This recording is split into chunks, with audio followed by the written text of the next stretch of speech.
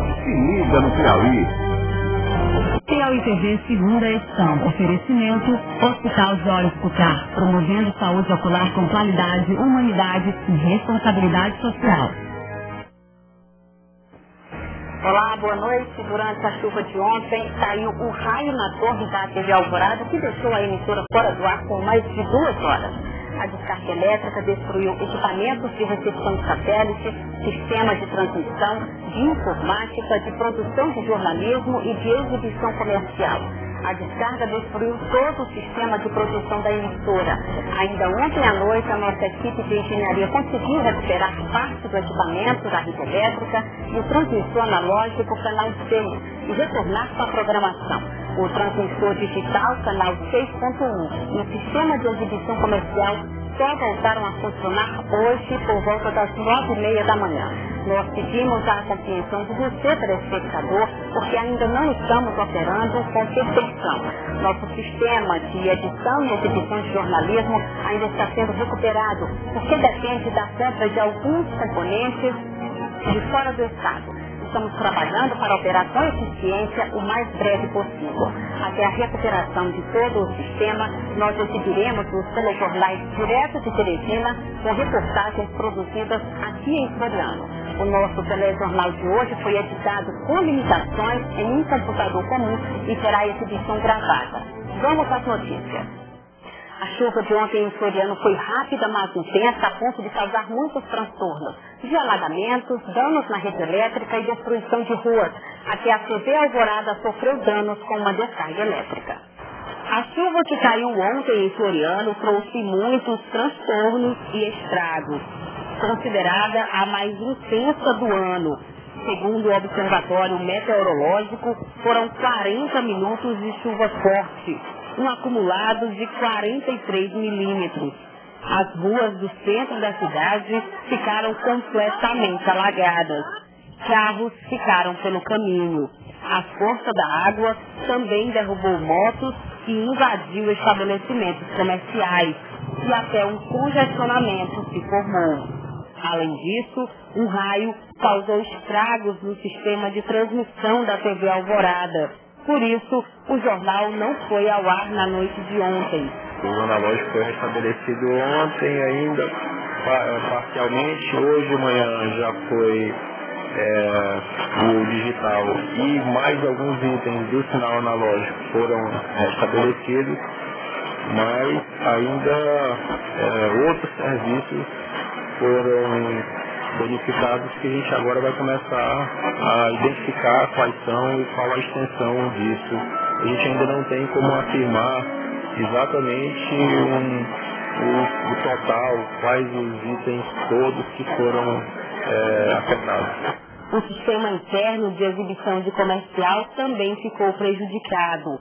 Computadores e aparelhos de ar-condicionado foram danificados o relógio de consumo de energia explodiu. Ainda ontem, a equipe de engenharia da TV Alvorada conseguiu restabelecer o sinal analógico.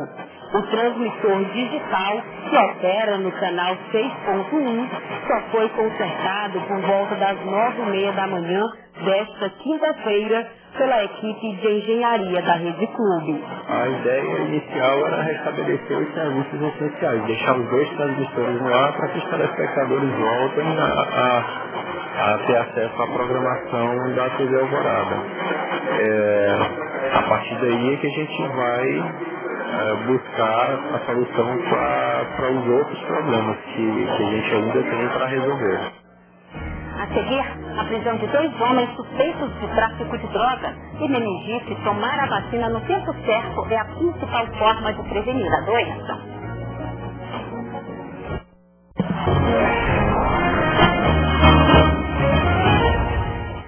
Dois homens foram presos ontem à noite em uma blitz em Barão de Grajaú por suspeita de tráfico de drogas. A Polícia Militar de Barão de Grajaú estava realizando rondas nas proximidades da ponte que liga a cidade de Barão de Grajaú a Floriano e avistaram dois indivíduos em uma motocicleta adentrando a cidade.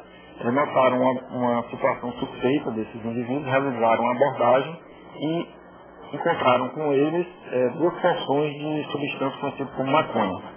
Delegado, e quem foi preso? Ele foi passado pela polícia?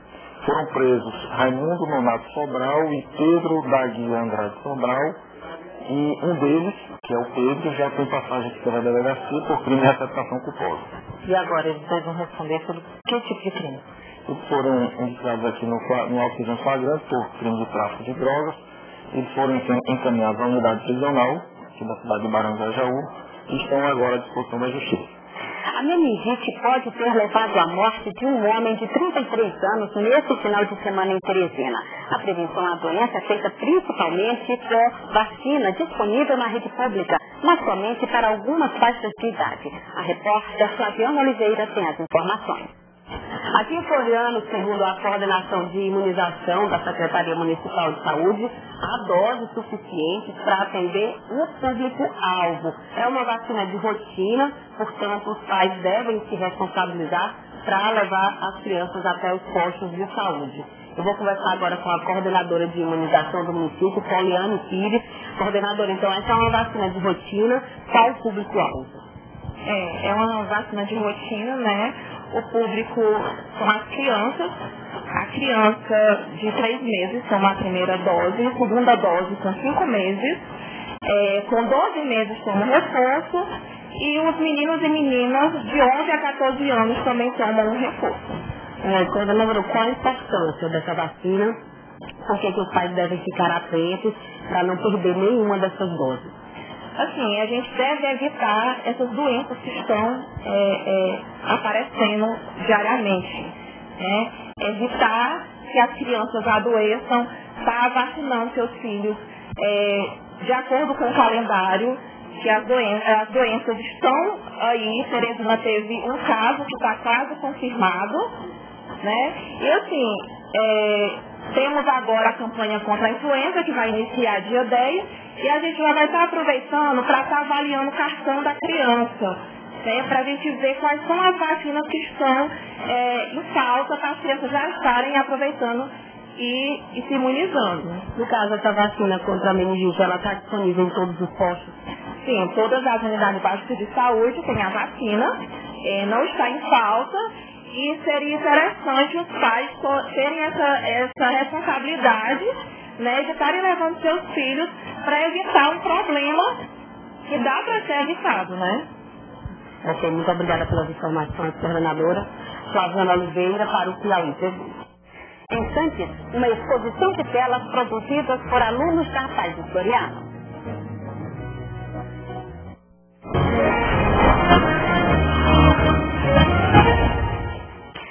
expostas até amanhã no campus de Floriano da Universidade Federal do Piauí, telas pintadas por alunos da APAI de Floriano.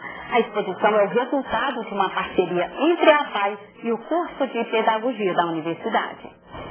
Tinta acrílica, barbante, papel reciclado e muita criatividade. Foi assim que os alunos da PAI conseguiram, com a ajuda dos professores, confeccionar estes lindos quadros. Gostamos de tomar muito forte, como eu queria que ficasse lindo e bonito. Colorido. Uhum. Não, ficou legal? Ficou, porque eu gostei muito. Nós pegamos com tampa de, de panela, nós fizemos circo todinho. Ela foi só dizendo a dica, eu fiz só com o meu pensamento na minha cabeça, eu fiz. A professora te ajudou e você... Só, só consegui, só. Eu mesmo fiz só com a minha cabeça mesmo. As telas estão expostas nesta sala da Universidade Federal do Piauí. Faz parte de um trabalho realizado pelos alunos e professores do curso de Pedagogia.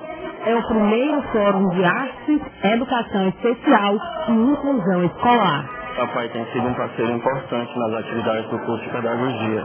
Nesse sentido, nós resolvemos então promover essa exposição de telas produzidas pelos alunos da PAI no sentido de valorizar a produção desses alunos e também de mostrar à comunidade o trabalho que é realizado pela instituição. Assim também como divulgar o nosso espaço de produção de arte, é o nosso laboratório interdisciplinar de ensino, arte e educação, que nós chamamos de Liberte, aqui da Universidade Federal do Piauí, tem sido um espaço importante para a divulgação desse material. As 12 telas vão ficar expostas aqui até a próxima sexta-feira. E se você quiser ver mais de pertinho, a exposição é aberta ao público. Além das pinturas, os meninos também se divertiram com jogos educativos e inclusivos confeccionados especialmente para eles. Hoje, no processo de inclusão nas escolas, o grande eixo que nós temos que trabalhar é a questão da aprendizagem. Então, nós precisamos, a escola precisa se adaptar a essa nova realidade. Então, nós vimos que o mais importante é se trabalhar com a ludicidade. Por isso aqui nós temos alguns jogos bem simples, onde a criança especial, ela pode ter a possibilidade de ser incluída no processo educacional. A pintura e outras formas de se expressar artisticamente fazem parte da rotina de todos eles. Um incentivo e uma prova de que eles também podem fazer. É importante porque insere esses meninos no meio da sociedade, esses, esses meninos são valorizados, são incluídos, e aí eles se sentem valorizados por estar praticando essa arte, até porque eles são capazes. Embora nós temos a, a maior parte dos nossos alunos são crianças com deficiência intelectual, mas eles são crianças capazes ou adultos capazes de também fazer um trabalho belíssimo, como vocês podem comprovar aqui. O Piauí TV de hoje termina aqui, lembrando que até a recuperação do sistema de interdição da TV Alvorada, nós produziremos as reportagens aqui em Floriano para serem exibidas nos telejornais de Teresina. Uma boa noite para vocês.